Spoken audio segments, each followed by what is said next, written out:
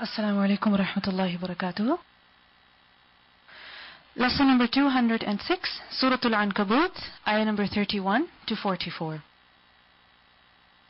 ولما جاءت رسلنا إبراهيم بالبشرى And when our messengers came to Ibrahim alayhi salam with the good news. In the previous ayat, we learned about the story of Ibrahim alayhi salam and then about Lut alayhi salam. That how Lut salam, he also invited his people, but what was their reaction? It was very severe. And they said to him, bring the punishment if you're truthful in your claim, in your threat. And Lut salam, what did he do? He made dua to Allah that Rabbin surni, O my Lord, help me against these people who are mufsid. So what happened then? Allah subhanahu wa ta'ala responded to his dua and he sent his angels. Why? In order to carry out the punishment on the people of Lut. However, before they went there, they went to who? Ibrahim alayhi salam. So وَلَمَّا جَاءَتْ رُسُلُنَا When our messengers came, Rusul is a plural of? Rasul. And remember that Rasul is used for human messenger, a messenger who has been sent to deliver Allah subhanahu wa ta'ala's message to the people. But over here, Rusul refers to who? The angels. Why? Because these angels, they also brought a message to who? To who? To Ibrahim a.s. And what message was that? Bil Bushra. It was of good news. Bushra is Bashara, which is good news, glad tidings. It is such news that pleases the receiver. Meaning the one who receives that news, he becomes very happy on receiving that news. And what was this good news that Ibrahim a.s. was given? Of the birth of his son Ishaq and after him his grandson Yaqub salam. So what happened then? Qalu, they also said. So they gave the good news to Ibrahim a.s. and after that they said to him that inna muhliku, indeed we are ones who destroy. Muhliku is actually muhlikuna and it's the plural of muhlik. So they said that indeed we are ones to destroy ahli, people, the dwellers. The dwellers of who? هذه القرية, of this city. What do they mean by this? That we are ones to destroy the dwellers of this city. Which city is this? The city where the people of Lut salam lived, the cities of Sodom. Inna ahlaha. And what's the reason behind that? That indeed its people كانوا ظالمين, they are wrongdoers. Zalimin is a plural of zalim. What kind of zulm were they doing? The people of Lut alayhi salam. Homosexuality. Why is it called zulm? Think about it. The actions that they were committing, such as homosexuality, why are they called zulm? They were doing zulm on the women. And what's the definition of zulm? To place something where it doesn't belong. So they were doing something which was incorrect. They were fulfilling their desire how? Through the unnatural way. Through the way that went against the fitrah. But remember that zulm, over here it also refers to their kufr. Because what is kufr? What is denial? What is rejection of the messenger? That is also zulm, isn't it? And what's the evidence behind that, that kufr is zulm? وَالْكَافِرُونَ هُمُ الظَّالِمُونَ that the disbelievers, they are the wrongdoers. So, inna ahlaha kanu zalimin. Indeed, its people are zalim. How? By denying their messenger, by doing kufr of their messenger, and also by persisting in their evil deeds.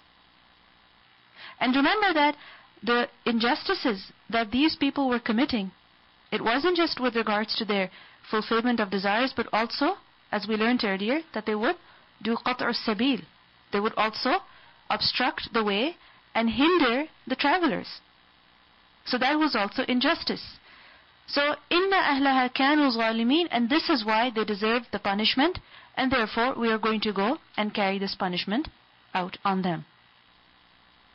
What do we see over here? That the angels, they came with two missions. And what were they? First of all, to deliver the good news to Ibrahim a.s. and secondly, to also execute the punishment on the people of Lut salam. But before going to the people of Lut salam, they told Ibrahim salam about what was going to happen. They informed him. قال Ibrahim alayhi salam, he said, Inna fiha, indeed in it, in what? In that qaryah that you're about to destroy, in that qaryah is Lutan, Lut alayhi salam. Why did he say that? So that the people are not destroyed.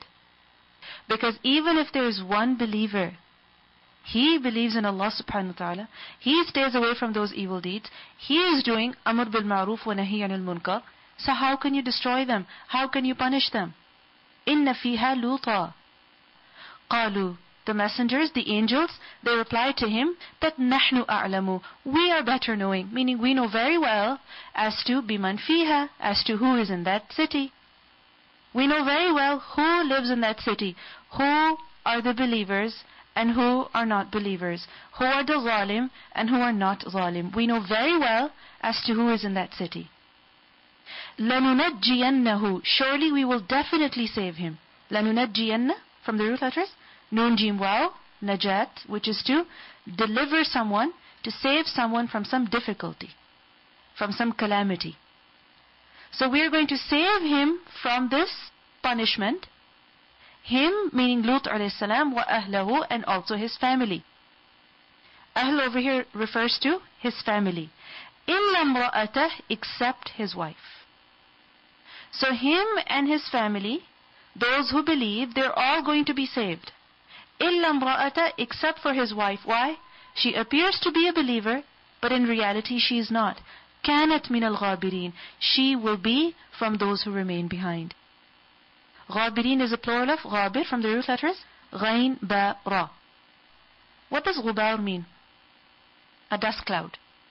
You can imagine a group of people running through the desert, especially horses, and as they move forward, what do they leave behind them?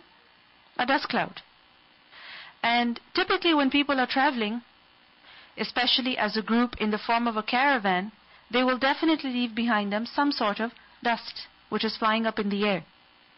So ghabir is used for the one who remains behind while his friends they move forward.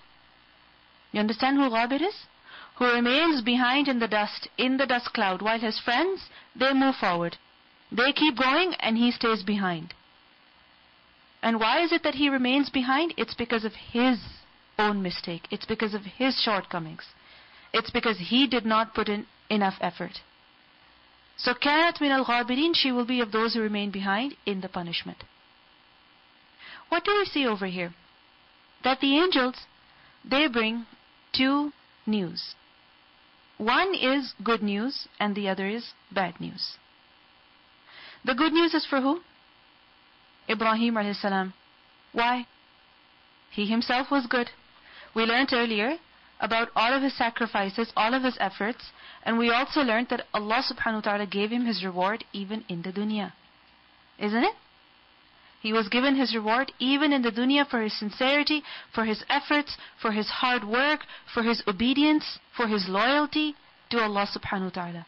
And part of that reward was that in his life, he was granted children, and not just children, but also the news of righteous children.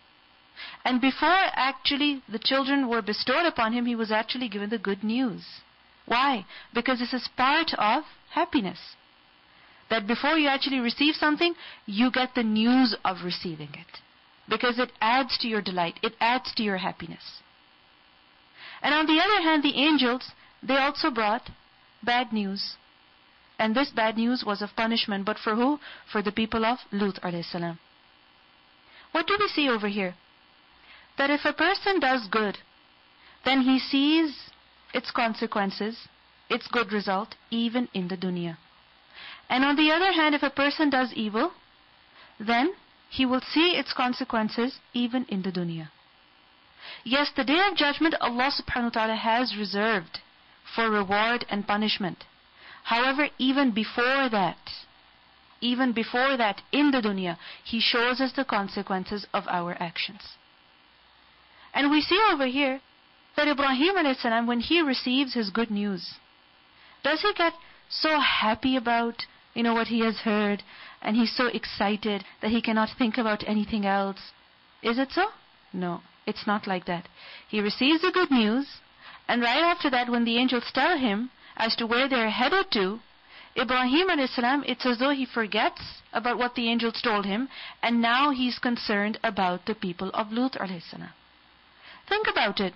Typically, what happens with us? When we receive some kind of blessing or some kind of good news, we get so excited, we get so lost in our own enjoyment, in our own pleasure, that we forget about what is more important.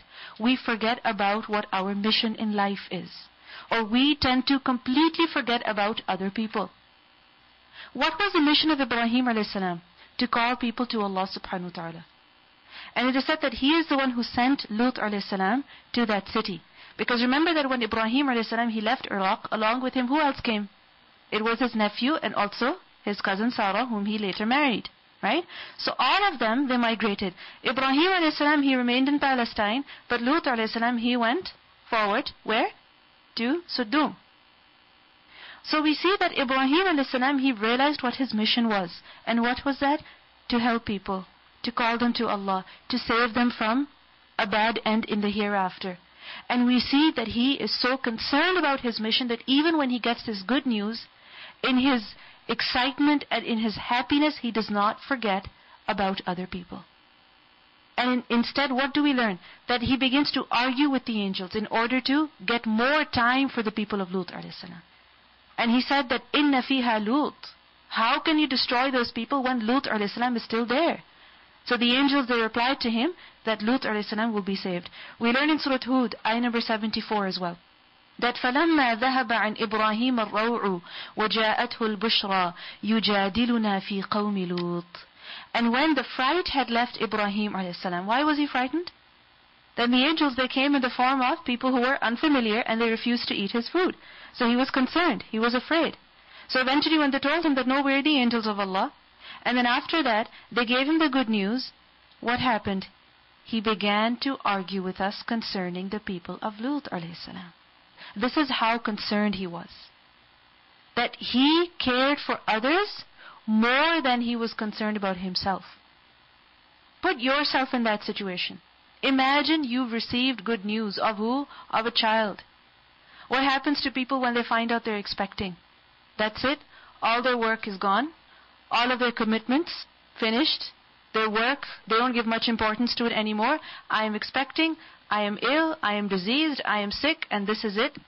Everything, bye. And I'm only concerned about my own self. This is not the way of the believer. You see, everything, everything has its own level and it deserves its own importance. And the work of Allah subhanahu wa ta'ala, the work of calling people to Allah, the work of spreading this Quran, it is the most important task that you have at your hand the most important task in no matter what way you're involved with it. So, anything that happens in your life should not become a hindrance in doing that work. Yes, it might become challenging at some point. However, we should not become so concerned with ourselves that we forget what is more important. If you think about it, the Sahaba, they endured so much physical difficulty, physical pain, whenever they went through so many hardships, when they went to the expedition of Tabuk, how difficult that journey was. When Bilal anhu, he would lie on the desert sand of Makkah in the heat, and heavy stones would be placed on his chest, and still he would say, Ahad, what do we see? That if a person is spiritually strong, if a person has inner strength, it will help him overcome his physical pain. It will help him overcome his physical ailment, his physical state. But if we are weak on the inside, then even the slightest thing is enough to remove us from our purpose. Remember that. I always think that what is it that gives Sahaba the strength to just survive on half a date, one date, all day long? What gave them the strength? What gave them the strength to tie rocks onto their stomachs and keep digging the trench at the Battle of Khandaq? What gave them the strength? Were they more powerful? Were they more mighty? Did they eat more? Did they have multivitamins like we have all the time? Did they sleep for several hours? What gave them the strength? It's the inner strength that you have. when you're strong on the inside, when you have spiritual strength, when you have fear of Allah, when you're motivated by the reward that Allah has promised, then no matter what physical state you're in, you will be able to overcome that. Definitely you'll be able to overcome that. So we see Ibrahim alayhi salam, look at him. And look at the state that he is in. How old was he at this point? He was extremely old. Did he have any children at this point? No. Imagine he had left his family back home in Iraq. He was all alone. He didn't have any children. And he's become so old. And typically at this age, people give up hope of having children. And imagine at this point, he's given the good news of not just a son, but also a grandson. Just try to imagine his excitement his happiness. When couples are trying to have children for even one year and they don't have, and after a year they find out how excited they are, how thrilled they are. After five years, after ten years, how happy they are. I want you to imagine the happiness of Ibrahim a.s. But it does not move him away from his purpose. He is still concerned about people. He is still concerned about his mission in life. And this is why his rank was so high. This is why his reward was so great. That Allah subhanahu wa ta'ala rewarded him in this dunya, and He has great reward for him in the hereafter as well. So what does it show to us? That in order to do the work of deen, we need to have the heart like that of Ibrahim alayhi salam. A heart that is filled with concern and compassion and well-wishing for others that we should come out of ourselves and we should not just be concerned about ourselves and our families and our children and our homes. Yes, they're important, but they're not everything. We need to be concerned about others as well. Only when we have this kind of well-wishing and concern for others, it will help us overcome our own problems, our own challenges. What else do we learn from here?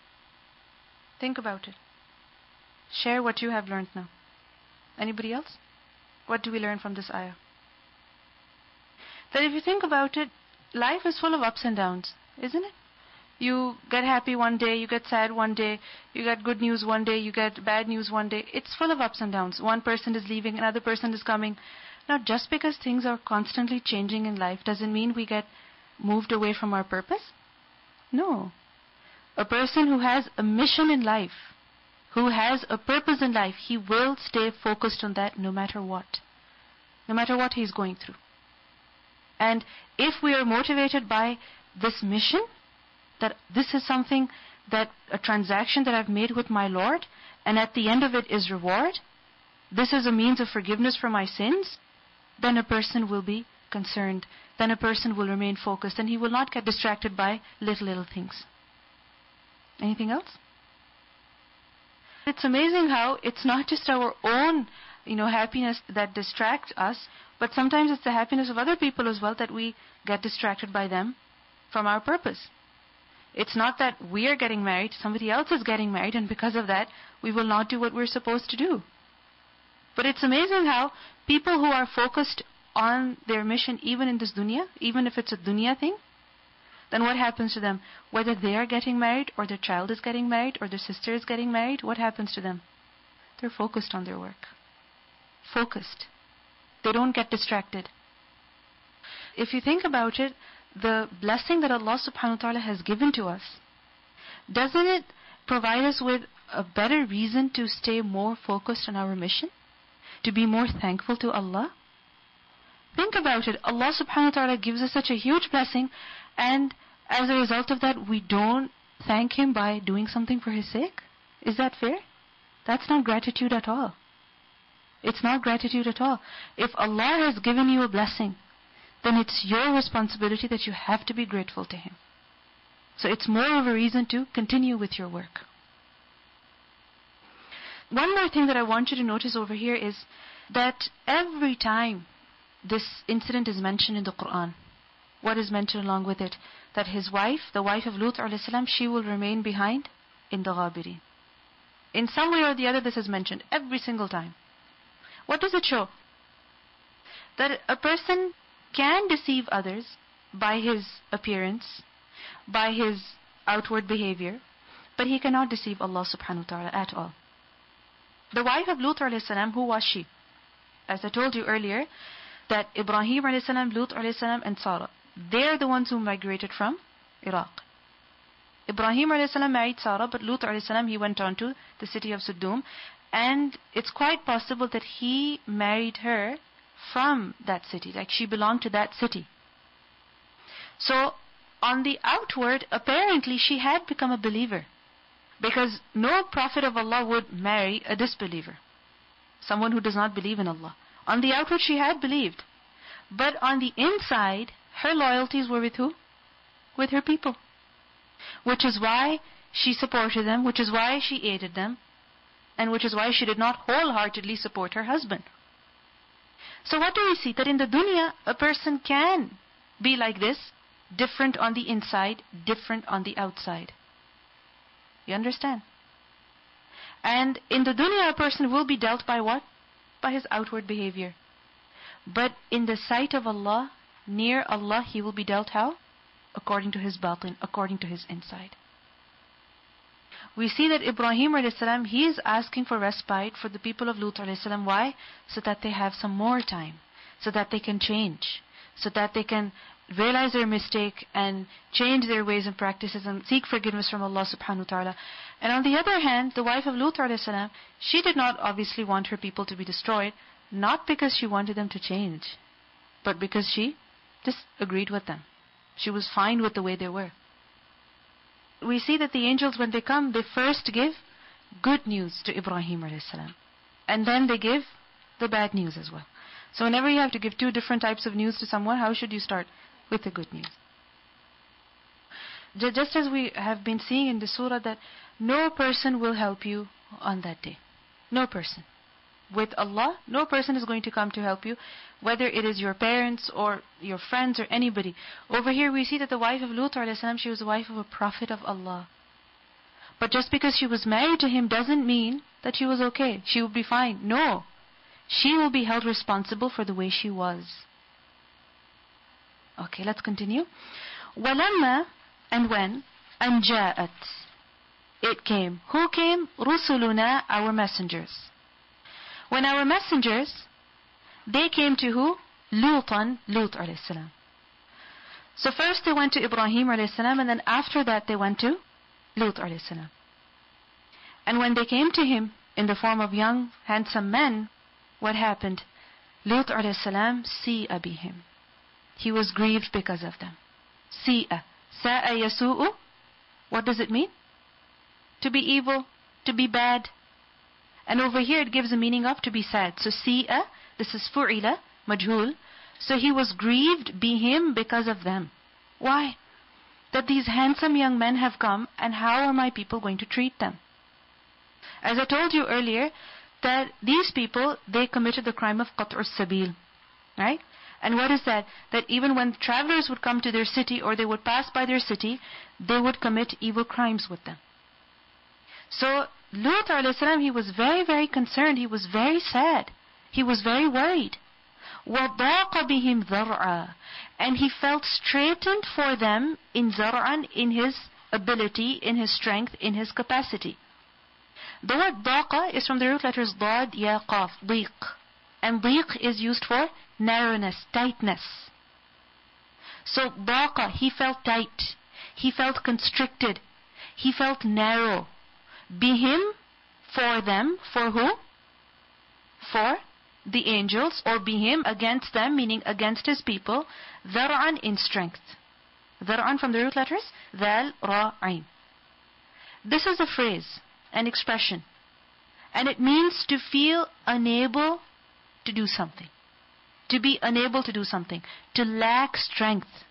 To not have the ability so over here, وَضَاقَ بِهِمْ ذَرْعًا He felt very straightened, very tight, very narrow in his ability to defend the angels and to fight against his people.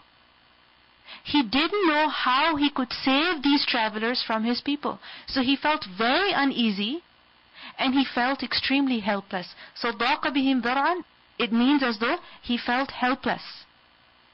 وَقَالُوا And they said, the angels when they saw the state of Lut salam, they said to him, لَا تَخَفْ Do not fear. وَلَا تَحْزَنْ And do not grieve. So over here, they told him that we are the angels. And we learn elsewhere as well that لَن يَصِلُوا إِلَيْكَ that the angels, they told Lut salam that we are angels and they can never harm us, they can never reach us, they can never do anything to us. So they comforted Lut salam, لا تخف ولا تحزن. Do not fear and do not worry. تخف. تخف is from kha wa fa. And what is khawf? Fear. But what kind of fear is it? It is about the past or the present or what? It's about the future. Right?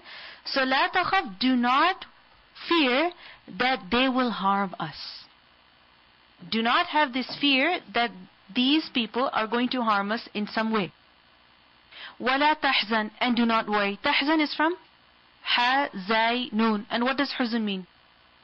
To be sad, to be grieved. About what? About the past and also about some calamity, some difficulty that has struck a person. So, لا تحزن, do not grieve that you are unable to help us. You understand? So, لا تخف ولا تحزن. Don't fear that they will harm us, and لا تحزن that you cannot help us. Don't worry, do not grieve. Inna munajjuka. Indeed, we are ones to save you. Munajju is actually munajjuna. And it's the plural of munajji. And who is munajji? One who gives najat, one who saves the other. Because najja yunajji tanjiya is to save someone, to rescue someone. So inna munajjuka, we are going to save you from the city, from these people. Wa ahlaka, and also your family, illa ataka except for your wife. Kanat min al she will be of those who remain behind. Remain behind in who? In those people who are being punished. We learn in Surah Hud, ayah 80 to 81 that Lut salam Qala, he said, that when the angels were there in the form of handsome young men, and his wife had informed the people, and the people came asking for these men to be handed over to them, Lut salam said, لَوْ أَنَّ لِي بِكُمْ قُوَّةً أَوْ آوِي إِلَى رُكْنٍ شَدِيدٍ He said, if only I had against you some power, or I could take refuge in a strong support. If only I had some power to fight you people, or if only I had some strong support through the assistance of which I could counter what you're doing. So what happened? قالوا, the angel said, يَا لُوطُ إِنَّا رُسُلُ رَبِّكَ لَنْ يَصِلُوا إِلَيْكَ They informed him at that time that, O Lut, indeed we are the messengers of your Lord and they can never harm you. And the angels, they said to him, إِنَّا مُنْزِلُونَ Indeed, we are ones to bring down. Munzilun, plural of munzil. And who is munzil? One who brings down. What kind of noun is this? Ism? fa'il From which bab? افعل افعل يفعل افعل فهو مفعل. So مفعل منزل. أنزل ينزل إنزال and then from that منزل. So indeed we are ones to bring down what على أهل هذه القرية upon the people of this city رجزا من السماء. A filthy punishment from the sky. Why? بما كانوا يفسقون because of the crime, because of the sin, because of the sins that they have been committing, because of their crossing limits. This is why we're going to descend upon them rijzam minas sama. Now what is rijz? Rijz is from the root letters ra, jim, zay. And rijz is used for punishment, filthy punishment, and it's used for musibah, or difficulty, for a calamity. But basically rijz literally is ittirab. What does that mean? To move. How? To constantly move, to constantly shake, to quiver when a person cannot stand still. And from the same root is rijziya, ash'ar. Ash'ar are what? Poetry. Ash'ar, shir. And rijziya meaning they are such such verses of poetry that literally shake you. That shake you, that cause you to move, that cause you to take action. And typically Rijziya Ash'ar, they would be recited at times of war. Why? To motivate people. To give them energy. Because when you're feeling down and all of a sudden somebody's talking about your tribal leader and your great ancestors and your strength, then what happens? Even if you're weak, you will become energetic. So Rijziya Ash'ar. And from the same root is Rajaz al-Ba'ir. Rajaz al-Ba'ir. What is a Ba'ir? A camel. Rajaza meaning it has become so old it has become so weak that as it walks, the legs, they shiver. You understand? Or because it has been heavily laden with burden, that it cannot bear it, and as it walks, its legs, they shiver. They move. So, rijz, what kind of punishment is it? Extremely filthy. Extremely terrible. That will not leave anything untouched, that will move everything. And if you think about it, whenever you see something ugly, you know, something that is filthy, something that is very dirty, what happens as you see it? Don't you shudder? Don't you shiver? It causes you to move. Just the thought of it, just imagining it, just seeing it or smelling it, it causes you to move. You move your shoulders, your head, your back, your, your whole body is shaken. So, إِنَّا مُنزِلُونَ عَلَىٰ أَهْلِ هَذِهِ الْقَرْيَةِ رِجْزًا مِنَ السَّمَاءِ Now what does this rijz refer to? What kind of punishment was this? A rain of stones. And why is it called rijz? Because it was a very severe punishment. Because that is what fell down on them from the sky. And what's the reason behind that? بِمَا كَانُوا يَفْسُقُونَ Because they used to cross limits. Yafsukun is from fisq. And fisq is literally to cross limits. Fasaqat tamra is when a date has become extremely ripe. And once it has become extremely ripe, what happens? The skin, it bursts. And the date, the fruit, the pulp that is on the inside, it comes outside. And then you see that the skin of the date, it shrivels up, it dries up, it cracks. So, fisq is to cross limits. So because they have been crossing limits for a very long time, this is why now the punishment is going to descend on them. And what happened? The punishment was descended on the people and they were destroyed.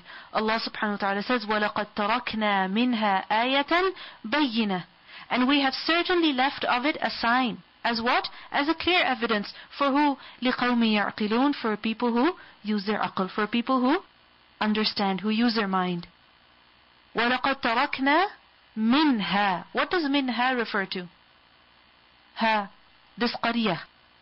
So we have left of that city.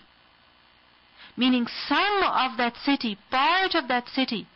It has been left by Allah subhanahu wa ta'ala as what? As ayatan bayina, as a clear evidence, as a clear sign. Meaning the city as it was destroyed, but part of it Allah subhanahu wa ta'ala let it remain. Why? So that it becomes an ayatim bayyina. But who will take a lesson? لِقَوْمِ يَعْقِلُونَ For people who use their aql. Now how is it an ayatan bayyina? How is it a manifest sign? That the remains of the city, especially the Makkans, the people of Makkah, as I told you that there was a trade route over there. And the people of Makkah, even they would take that trade route. And as they would take that trade route, they would witness the remains of these people.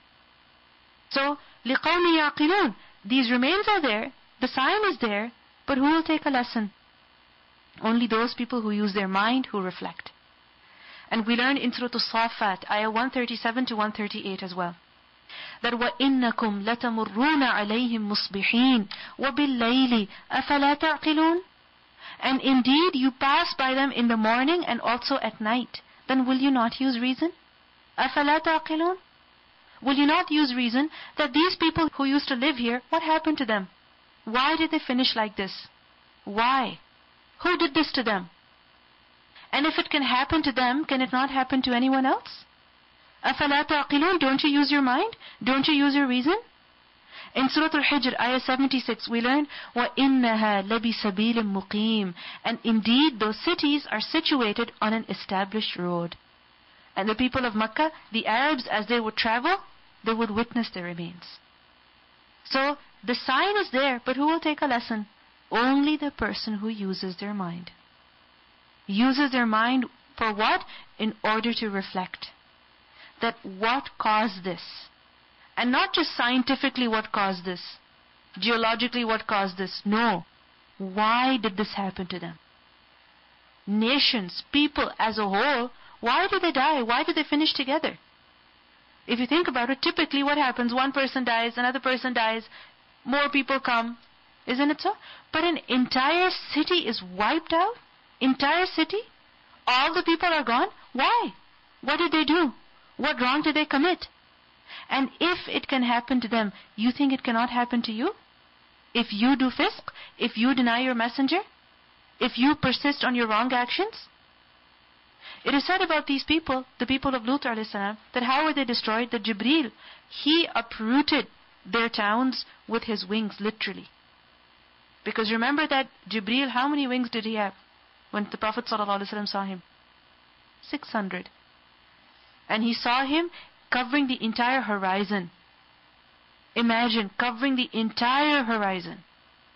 So, Jibreel, he lifted these people up, their towns up with his wings from the depths of the earth, and then they were overturned and thrown back.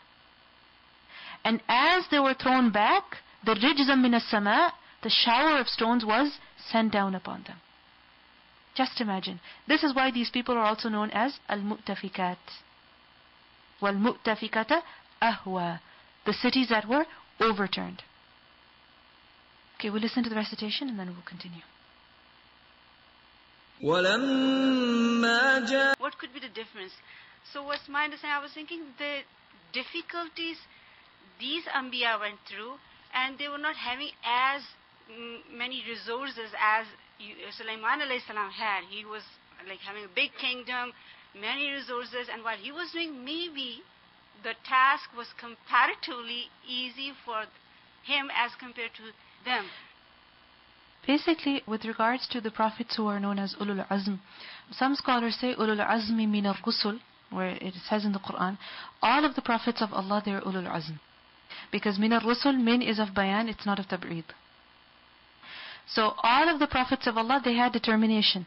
They were determined. And this is why, whatever difficulties they faced, whatever challenges they faced, they delivered the message of Allah to the people. However, other scholars say that ulul azmi minar rusul, that min is of tab'id, so only some prophets of Allah are those of determination. It doesn't mean that the rest of them, they had any less of determination or they are of a lesser degree and rank. Yes, there is differences amongst the messengers. Allah subhanahu wa ta'ala says himself that تِلْكَ الرُّسُلُ فَضَّلْنَا بَعْضَهُمْ عَلَى بَعْضٍ Right? So, the reason why prophets Muhammad sallallahu alaihi wasallam, Ibrahim alayhi salam, Nuh alayhi salam, Musa alayhi salam, and Isa alayhi salam, the reason why they are known as Ulul Azm is because they had to face a lot. They had to deal with a lot. As you can see over here, Ibrahim alayhi salam, look at the challenge that he faced in his home, and look at his concern that he had even afterwards. He had so much determination that he wasn't willing to quit on people. He wasn't willing to give up on them. Even when the people had quit, he wasn't willing to quit on them. So this is why they're known as ulul azm and also their challenges were more, their difficulties were more, and what they accomplished was also very great indeed. Jazakallah khair. And I was thinking that this is a gham he had in his heart that even then he's worried. The another messenger he was saying that he's in them. Yes. That we see that Ibrahim salam he was so concerned for people. Similarly, Nuh salam he was so concerned for people, which is why he did da'wah to them for 950 years. I mean, who does that? You tell someone for nine days they don't listen, you give up on them. But to have the determination to tell someone for 950 years, that's a big thing. Muhammad sallallahu alaihi wasallam he endured for so long as well. Musa alayhi salam he dealt with Fir'aun and he dealt with Bani Israel. Isa alayhi salam he dealt with the Bani Israel. It's not easy. I was just saying that, like, you know, I give up now. Like, you know, I don't want to talk to people anymore because they don't want to listen and all that stuff. But then again, you have this in your heart that, oh my God, like, you know, you really want them to realize the wrong thing that they do. But, like, I mean, I think it's a normal reaction among human beings that it's like, okay, that's it for me. Very true. I'm not normally, going to talk anymore. Yes, we tend to give up hope. We become weak. And we think that's it. They're not going to listen. Why waste your energies? Why become miserable? But when you look at the example of these prophets of Allah, that even when they are given their good news, they still don't forget their mission. They still are concerned for others. So then this is a source of great motivation. Okay, we'll listen to the recitation. ولما جاءت رسلنا إبراهيم بالبشرى قالوا إنا مهلكو أهل هذه القرية. إنه وأهله إلا امرأته كانت من الغابرين. ولما أن جاءت كذبت رسلنا لوطا سيء بهم وضاق بهم ذرعا وقالوا لا تخف ولا تحزن إنا منجوك وأهلك إنا منجوك وأهلك إلا امرأتك كانت من الغابرين. إنا منزلون على أهل هذه القرية رجزا من السماء رجزا من السماء بما كانوا يفسقون. ولقد تركنا منها آية بينة آية بينة لقوم يعقلون.